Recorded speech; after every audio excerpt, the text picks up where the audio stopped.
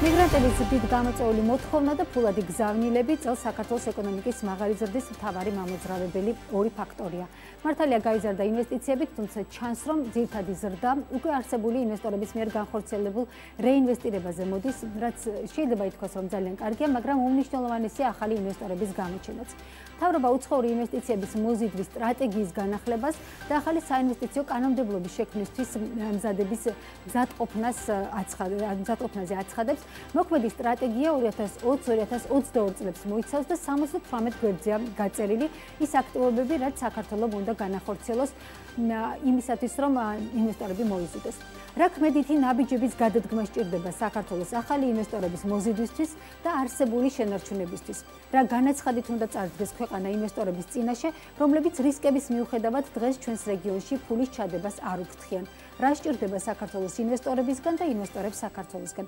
ქეთი ბოჭორიშვილი ეკონომიკის მინისტრის ყოფილი მოადგილე გვერდდება ახლა პირდაპირ ეთერში. ქეთი მოგესალმებით. საინტერესო დაანონსება მოვისმინეთ გუშინ რომ დაიწყება განახლება არსებული სტრატეგიის რომელიც ყოველ ორ წელიწადში ახლდება ხოლმე თუმცა ალბათ ფიქრობ რომ დიდად სწრაფად ვითარდება და იცვლება ქვეყანაში მოვლენები რომ აუცილებელია უფრო სწრაფი გადახედვაც მოხდეს ხოლმე. თქვენი აზრით რა უნდა გააკეთოს მთავრობამ რა ნაბიჯები უნდა გადადგას პირველ ეტაპზე ვიდრე სტრატეგიას განახლებს მოგესალმებით საღამომშვიდობისა. თავდაპირველად მინდა აღნიშნო, რომ რა თქმა უნდა აუცილებელია რომ გქონდეს ხედვა და ხედვის შესაბამისად სტრატეგია და სამოქმედო გეგმა, რომ თუნდაც ის დასახული გეგმების შესრულება შევამოწმოთ, ვაკეთებთ, ვახორციელებთ, არ ვახორციელებთ.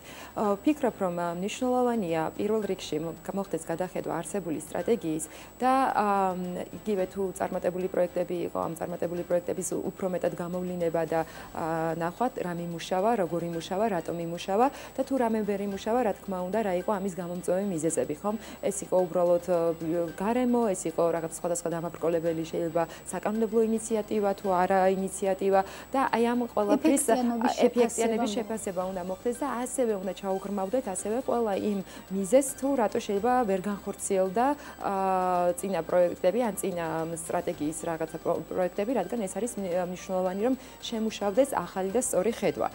მე წინა სტრატეგიიდან გამოვყოფდი რომ რამოდენიმე მიმართულებამ საკმაოდ წარმატებულად იმუშავა. აქედან მინდა აღვნიშნო ბიზნეს ოპერაციების მენეჯმენტის გადმოტანა საქართველოში. ჩვენ დავინახეთ რომ რამოდენიმე საერთაშორისო კომპანიამ გადმოიტანა საინფორმაციო ტექნოლოგიების მიმართულებით თამიანთი კომპანია საქართველოში და ეს ნამდვილად წარმატებული შემთხვევები არის და რა თქმა უნდა ამაზე კაპიტალიზაცია და კიდევ ამ მიმართულებით მუშაობის გაგრძელებას ვთვლი რომ იქნება ნამდვილად შედეგიანი. თუმცა მნიშვნელოვანია განსაზღვროთ ასევე ის მიმდინარე პოლიტიკური თუ სხვადასხვა მოვლენები, რომელიც დღეს ხდება მათ შორის, რა თქმა უნდა, გამოვყო პანდემიას შემდეგ მიმართულებებს და ასევე გამოვყო ყველაზე უმნიშვნელოვანეს რუსეთ-უკრაინის ომს, რა რას გამოიწვევს ეს და საქართველოს სად შეიძლება აი აქ რომ გააკეთოს აქცენტი და ამის გამოყენება მოხდეს.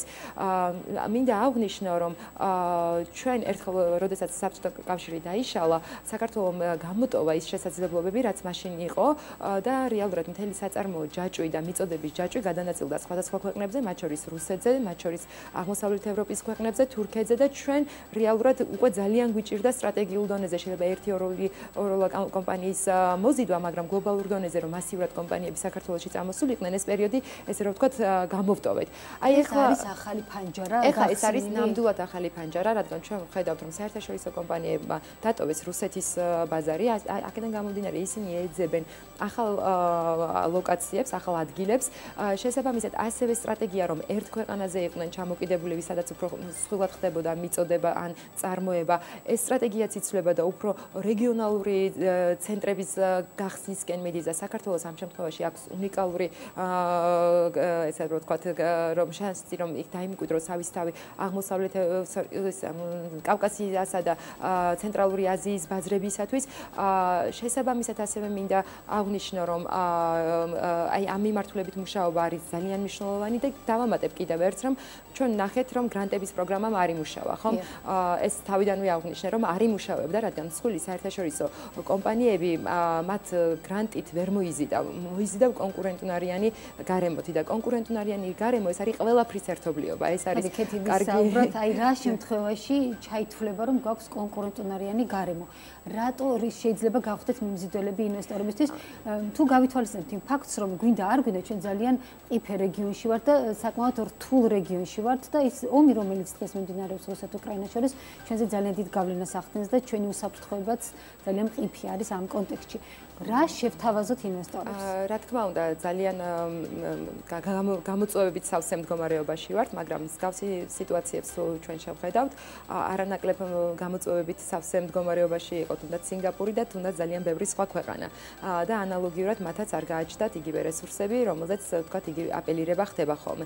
ამ შემთხვევაში აი არის სწორედ რომ უნდა ვიყოთ მაქსიმალურად ჭკვიანები და ჭკვიანურად უნდა გამოვიყენოთ ჩვენ ჩვენი მდგომარეობა, რაც გულისხმობს მუდმივად ბიზნეს ბიზნეს გარემოს გაუმჯობესებას და რეფორმები ეს უნდა იყოს ყოველდღიური ჩვენი მუშაობის ესე რომ ვთქვათ ნაწილი.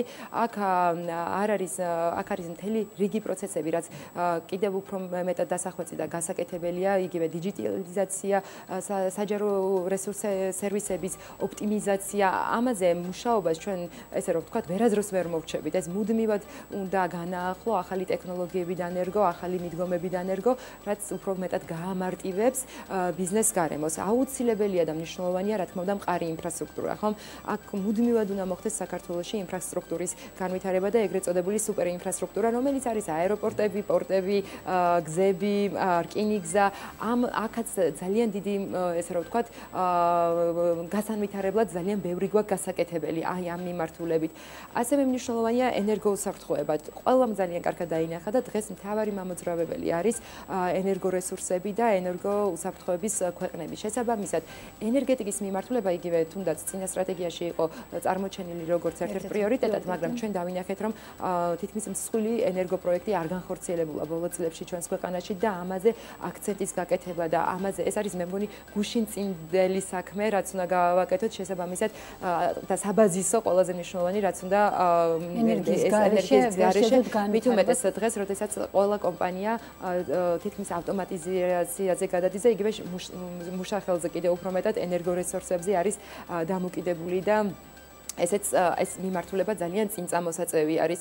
ასევე მყარს ინფრასტრუქტურაში თუნდაც თუ ინდუსტრიების მოზიდვა გვინდა, ჩვენ არა გვაქვს სანამედროვე ინდუსტრიული ზონა, სადაც უკვე გამზადებული ინფრასტრუქტურა არის და ნებისმიერ მეწარმეს, რომელსაც ჩამოსვლა შემოსვლა უნდა ჩვენს ქვეყანაში თვითონ უნდა მოძებნოს მიწა, მიიყვანოს ინფრასტრუქტურა, მიაერთოს გაზს, წყალს, რომელიც არის იმხელა ბიუროკრატია, რომ მას ურჩევნია ისეთ ქვეყანაში გააკეთოს არჩევანი, სადაც ეს ყველაფერი მზად არის და ამაში თავის რესურსს, ესე რომ ვთქვა, დროის რესურსს, ფინანსურ რესურსს არ გადახარჯავს.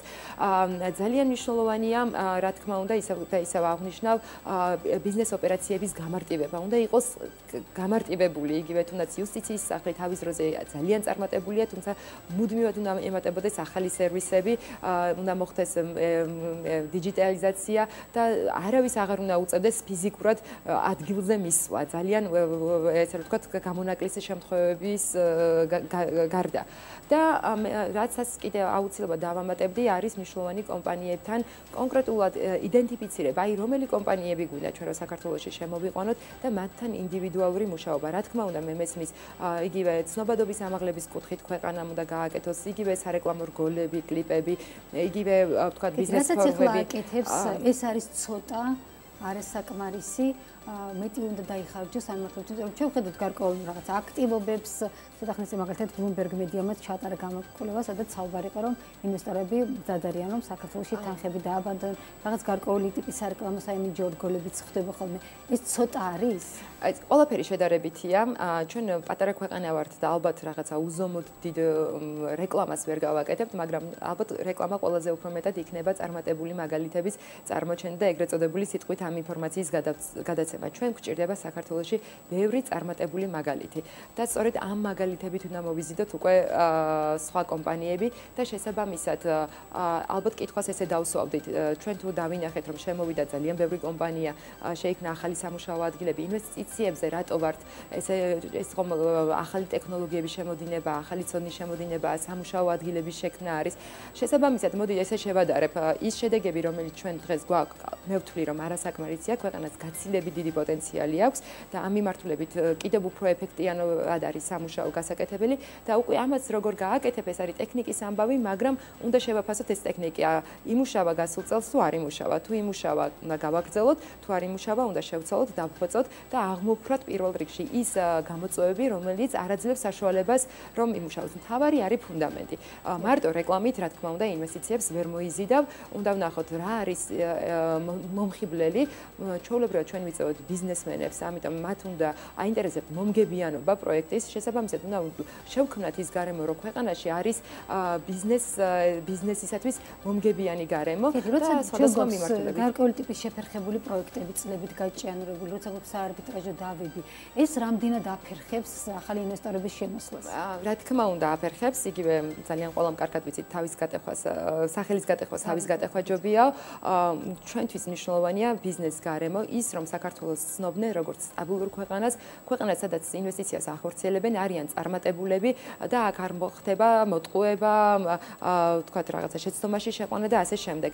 რაც უფრო რა თქმა უნდა, ნაკლები, მე ყოველთვის ამბობ, რომ სახელმწიფომ უნდა დაიცვას ქვეყნის ინტერესები პირველ რიგში და თუ რაიმე თაღლითობას აქვს ადგილი თუ ასე შემდეგ, მაქსიმალურად უნდა დაიცვას თავის ინტერესები, მაგრამ როდესაც ხშირად გროვდება და ის პროექტები, რომლებიც მიდიან და საერთაშორისო სასამართლოებში ჩივიან მათი საქმიანობის შეფერხებისათვის, რა თქმა უნდა, ეს ნამდვილად არ არის კარგი პიარი ქვეყნისათვის და რა თქმა უნდა, იგივე ის ბიზნესმენები, რომლებიც ამას ახორციელებენ, აქვთ თავიანთი წრე და ძალიან სამწუხაროდ ძალიან სამწუხაროა, რომ ნეგატიური ინფორმაცია ასჯერ მეტად უფრო სწრაფად ვრცელდება, ხოლო კარგი ინფორმაციაზე გჭირდება ძალისხმევა დახარჯო, თუნდაც ვინმე სყურამდე მიაწვდინო.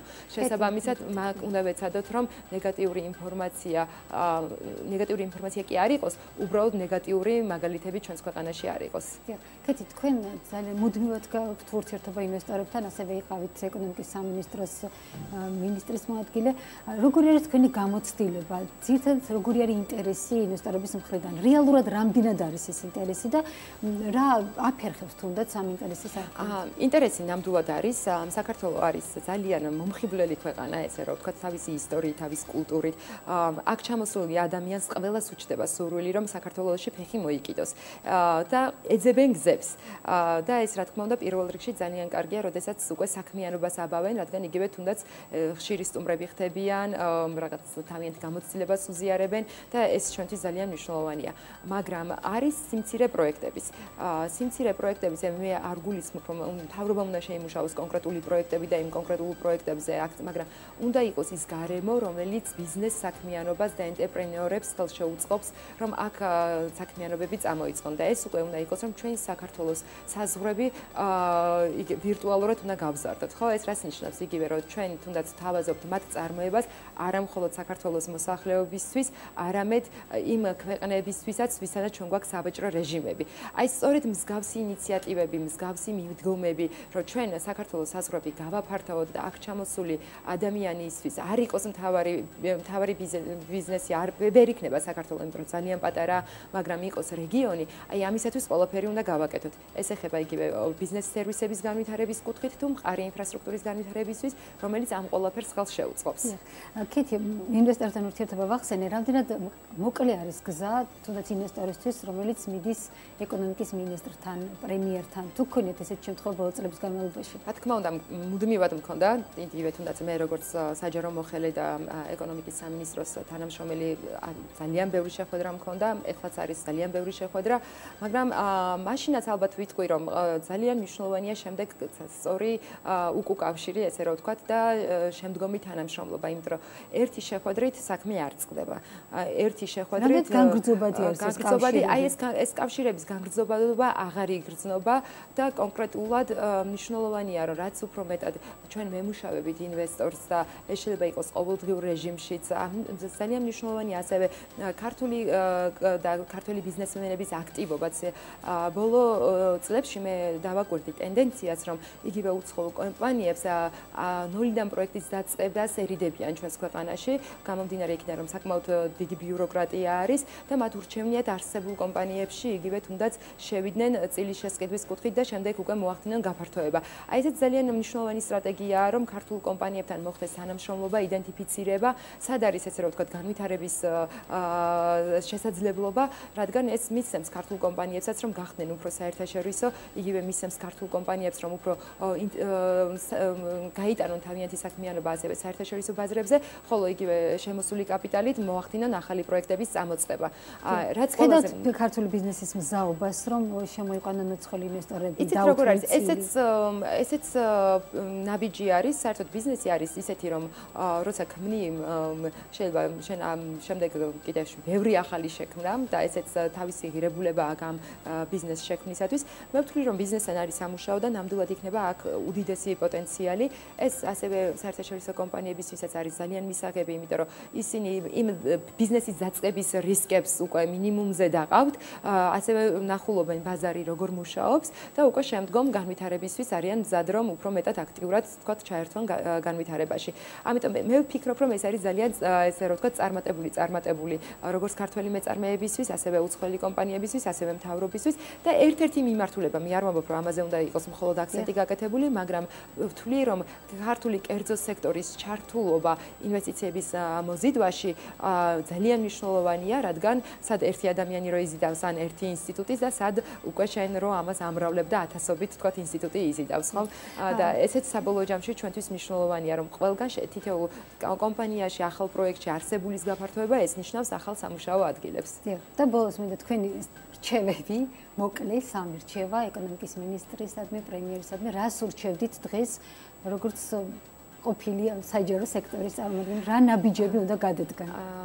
ეს ძალიან ისეთი კითხვა არის, ალბათ თავდაპირველად განვაპირობებდი ის, რომ გავიაზროთ რა პოლიტიკური და ეკონომიკური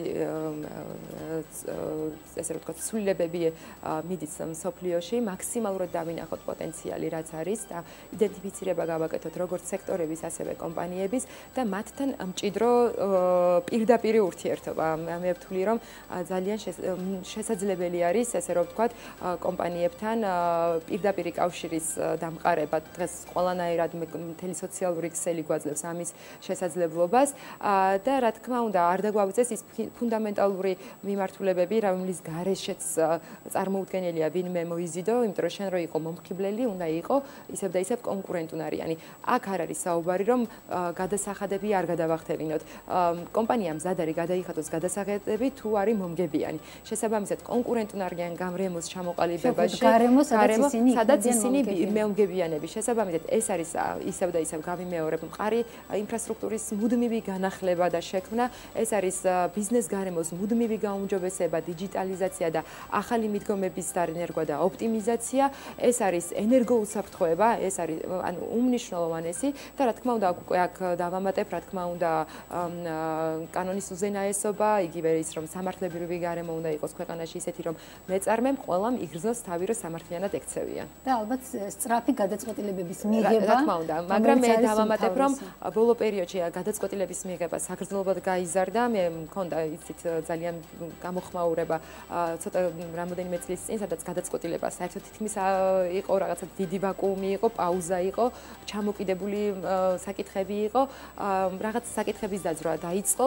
ეს მისასალმებელია და რა თქმა უნდა, ყველაფერი შედარებითია. ჩვენ კმაყოფილები არაზრს ვიქნებით. კმაყოფილები და ესეც მუდმივი ის არის რა თქმა უნდა პროცესია, რადგან უნდა ვიფიქროთ განვითარებაზე და გაუმჯობესებაზე ორიენტირებული და აი ამ მიმართულებით მუშაობა არის რა თქმა უნდა ყოველდღიური ესე რომ ვთქვათ ყოველწუთიერი ჩვენი ვალი ყველა მიმართულებით. ძალიან დიდი მადლობა. კეთი ბოჭორიშვილი ეკონომიკის მინისტრის ოფილი მოადგილე იყო დღეს სტუმარი.